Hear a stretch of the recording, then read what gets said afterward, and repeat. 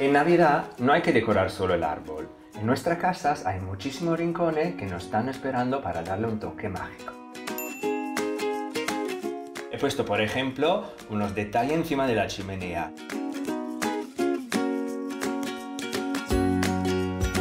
Y también he decorado la escalera de Navidad con una guirnalda de abeto, unas tiras de luces y también unos elementos blancos y naturales.